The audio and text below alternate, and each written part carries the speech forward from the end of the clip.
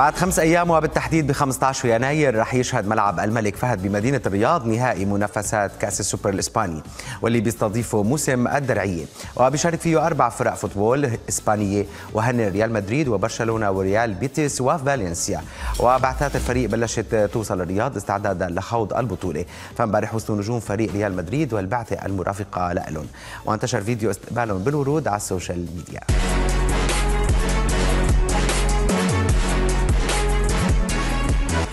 وكمان صفحة موسم الدرعية نشرت صور استقبال اللاعبين بالمطار ومن بيناتهم لوكا مودريتش وكريم بنزيما واللي انتشر له فيديو هو عم يتصور سيلفي مع باقي اللاعبين قبل إقلاع الطائرة.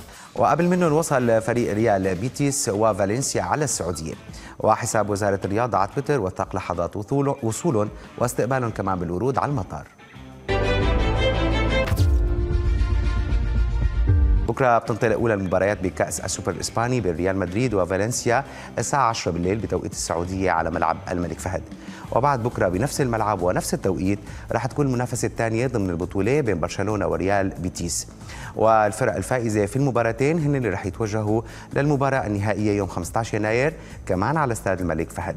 طبعا هالمباراة المنتظرة انباعت كل تذاكر الدفعة الأولى منها بحسب ما أعلن حساب موسم الدرعية.